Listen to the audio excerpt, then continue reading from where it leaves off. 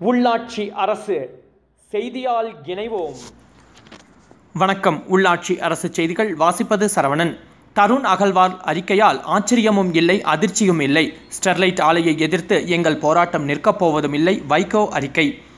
தூத்துக்குடியில் அமைக்கப்பட்ட நாசாகார நச்சு ஆலையை மூடியது இயற்கை நீதிக்கு எதிரானது. ஆலையை திறக்கலாம் என்று மேகாலயா மாநிலத்தின் முன்னாள் தலைமை நீதிபதி தருண் அகர்வால் தலைமையிலான உண்மை கண்டறியும் குழு தேசிய பசுமை தீர்ப்பாயத்தின் தலைமை அமர்வில் அறிக்கை கொடுத்திருப்பதாக வந்த செய்தி எனக்கு ஆச்சரியத்தையும் தரவில்லை அதிர்ச்சியையும் தரவில்லை.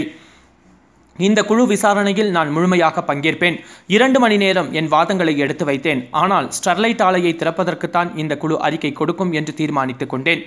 ஸ்டெர்லைட் ஆலையின் வேதாந்தா குழும தலைவர் அனில் அகர்வால் ஸ்டெர்லைட் ஆலையை திறந்து நடத்துவதை யாரும் தடுக்க முடியாது என்று அண்மையில் பேட்டி கொடுத்திருந்தார்.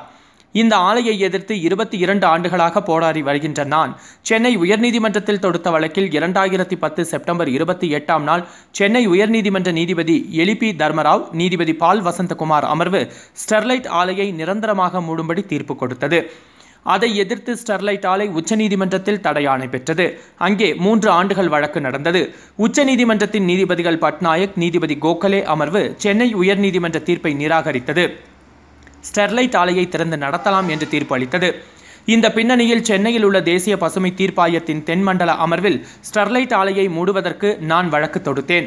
தமிழக அரசும் வழக்கு தொடுத்தது. உயர்நீதிமன்ற முன்னாள் நீதிபதி சொக்கலிங்கம் அவர்கள் அமர்வில் வழக்கு நடந்தது. நான் மூன்று மணி நேரம் வாதங்களை எடுத்து வைத்தேன். நீதி கிடைக்கும். ஸ்டெர்லைட் ஆலையை மூடும் தீர்ப்பு கிடைக்கும் என்று நான் எதிர்பார்த்திருந்த நிலையில் தேசிய பசுமை தீர்ப்பாயத்தின் தலைமை அமர்வு எந்த காரணமும் இன்றி அதிரடியாக வழக்கை தில்லியில் உள்ள தலைமை அமர்வில் விசாரிக்க மாற்றியது.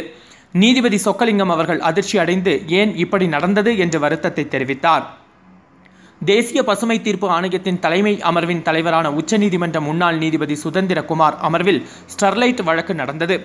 பசுமை தீர்ப்பாயத்தின் வழக்கு நடந்து கொண்டிருக்கும் போதே ஸ்டெர்லைட் ஆலையை திறக்க நான் ஆணையிடுவேன் என்று அவர் வெளிப்படையாக சொன்னார். நீதி கொலை செய்யப்பட்டு விட்டது என்று உணர்ந்த நான் ஒரு வழக்கு நடக்கும்போது ஒரு தரப்பு வழக்கறிஞருக்கு ஆதரவாக தீர்ப்பளிப்பேன் என்று ஒரு நீதிபதி சொன்னது இந்திய நாட்டின் சட்டத்துறை நீதித்துறை வரலாற்றிலேயே கிடையாது என்று செய்தியாளர்களிடம் கூறினேன். அதன்படியே ஸ்டெர்லைட்டுக்கு ஆதரவாக நீதிபதி சுதந்திரகுமார் தீர்ப்பளித்தார். அதனை எதிர்த்து உச்சநீதிமன்றத்தில் நான் மேல்முறையீடு செய்திருக்கின்றேன். தமிழக அரசும் மேல்முறையீடு செய்திருக்கின்றது. அந்த வழக்கு நிலுவையில் உள்ளது. இந்நிலையில் ஸ்டெர்லைட்டை எதிர்த்து தூத்துக்குடி வட்டார மக்கள் நூறு நாட்களுக்கு மேல் அறப்போர் நடத்தினர். மே இருபத்தி இரண்டாம் தேதி அறப்போராட்டத்தில் ஈடுபட்டவர்களை அதிமுக அரசின் காவல்துறை ஈவு இரக்கமின்றி தாக்குதல் நடத்தி பதிமூன்று பேரை சுட்டு படுகொலை செய்தது. மக்கள் கொந்தளிப்புக்கு அஞ்சி தமிழக அரசு ஆலையை மூடியது. ஸ்டெர்லைட் ஆலையை நிரந்தரமாக மூடுவதற்கான காரணங்கள் ஏராளம் உள்ளன.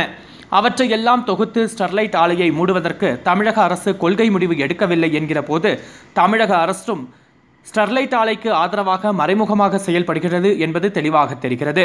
சென்னை உயர்நீதிமன்றத்தின் மதுரை கிளையில் நான் வழக்கு தொடுத்தேன். அந்த வழக்கில் அரசு கொள்கை முடிவாக அறிவிக்க வேண்டும் என்று நீதிபதியே கூறினார். இந்நிலையில் தமிழக அரசின் ஆணையை எதிர்த்து ஸ்டெர்லைட் நிர்வாகம் தேசிய பசுமை தீர்ப்பாயத்தின் தலைமை அமர்வில் வழக்கு தொடுத்தது. அதன் தலைவராக உள்ள நீதியரசர் கோயல் அமர்வில் நான் வாதாடச் சென்றபோது அவரும் வெளிப்படையாகவே ஸ்டெர்லைட்டுக்கு ஆதரவாகவே பேசினார். நான் பேச எழுந்தபோது பேசாதே உட்கார் என்றார். அதன் பிறகு உயர்நீதிமன்ற நீதிபதி தலைமையில் உண்மை கண்டறியும் குழு அமைப்பதாக சொன்னார். தமிழ்நாட்டை சேர்ந்த நீதியரசர் சிவசுப்பிரமணியன் அல்லது ஓய்வு பெற்ற இப்ராஹிம் கலிஃபுல்லா ஆகியோரில் ஒருவரை நியக்குமா நியமிக்குமாறு கேட்டேன். ஸ்டெர்லைட் வழக்கறிஞர் அரிமா சுந்தரம் தமிழ்நாட்டை சேர்ந்த எந்த நீதிபதியையும் நியமிக்கக்கூடாது அவர்கள் ஸ்டெர்லைட்டுக்கு எதிராகத்தான் அறிக்கை தருவார்கள் என்று கூறியபோது நான் கடுமையாக எதிர்ப்பு தெரிவித்தேன். தமிழ்நாட்டு நீதிபதிகள் நடுநிலை தவறியவர்களா? கிடையாது. தலைசிறந்த நேர்மையான நீதிபதிகள் நீதித்துறைக்கு பெருமை சேர்த்திருக்கின்றார்கள் என்று சொன்னதை ஸ்டெர்லைட் வழக்கறிஞர் ஏற்கவில்லை. பின்னர் பஞ்சாப் மாநிலத்தை சேர்ந்த ஓய்வு பெற்ற நீதிபதியை பசுமை தீர்ப்பாயம் அறிவித்தது. அவர் மறுத்துவிட்டதால் மேகாலயா உயர்நீதிமன்றத்தின் முன்னாள் தலைமை நீதிபதி தருண் அகர்வால் தலைமையில் உண்மை கண்டறியும் குழு அறிவிக்கப்பட்டது. அந்த குழு தூத்துக்குடிக்கு வந்தபோது நானும் சென்றிருந்தேன். பின்னர் அக்குழு சென்னையில் நான்கு நாட்கள் இருதரப்பு கருத்துக்களையும் கேட்டது. தக்க ஆதாரங்களுடன் இரண்டு மணி நேரம் நான் வாதங்களை முன்வைத்தேன். ஆனால் அந்த அமர்வு கருத்து கேட்ட முறையை கவனித்த போது ஸ்டெர்லைட் ஆலையை திறக்கச் சொல்லித்தான் இந்த குழு அறிக்கை தரும் என்பதை ஊகித்தேன். அப்படியே நடந்துவிட்டது.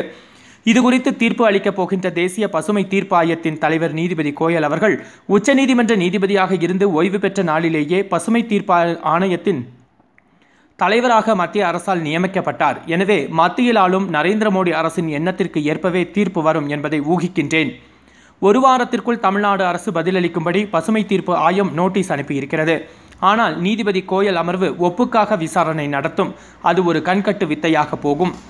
தூத்துக்குடி மாவட்டத்தில் விவசாயிகள் வாழ்வையும் தூத்துக்குடி மாநகர மக்கள் உடல் நலத்தையும் நாசப்படுத்துகின்ற ஸ்டெர்லைட் ஆலையை இயக்குவதற்கு மத்திய அரசு முனைந்து நிற்பதால் தான் ஸ்டெர்லைட் நிர்வாகத்தை நடத்தும் வேதாந்தா குழுமத்திற்கு தமிழ்நாட்டு காவிரி தீரத்தில் இரண்டு ஹைட்ரோ கார்பன் உரிமைகளை வழங்கியுள்ளது. தமிழர்களுக்கு எங்குமே நீதி கிடைக்கவில்லை. நாங்கள் நடத்துகின்ற அறப்போர் நிற்காது. ஸ்டெர்லைட் ஆலையை நிரந்தரமாக மூடும் வரை போராட்டம் புது புது வடிவங்கள் எடுக்கும். செய்திகளை உடனுக்குடன் தெரிந்து கொள்ள உள்ளாட்சி அரசு செய்திகளை சப்ஸ்கிரைப் செய்யுங்கள். தொடர்ந்து பெல் பட்டனையும் பிரஸ் செய்யுங்கள்.